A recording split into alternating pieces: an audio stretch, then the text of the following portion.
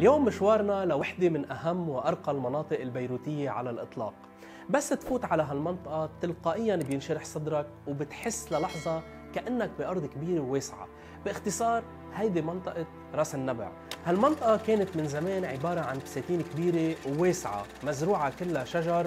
ومش بس هيك كانت غنية كمان بالينابيع وكان فيها بعض البيوت الأرميدية القديمة. ولأنه هالمنطقة كانت عالية عن باطن بيروت تسمت بمنطقة راس النبع. بعد ما اكتشفت فيها ينابيع كثيرة واسمها لليوم بعده ما تغير. في روايات كثيرة عن هالمنطقة وقديش ينابيعها كانت عذبة ونظيفة لدرجة إنه كان يقال إنه مي هالمنطقة كانت تشفي المرضى.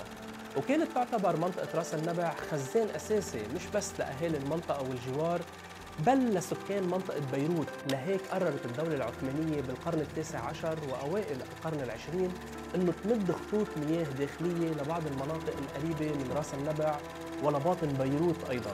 وبالفعل انمدت هالخطوط وصارت أغلب المناطق تشرب من راس النبع.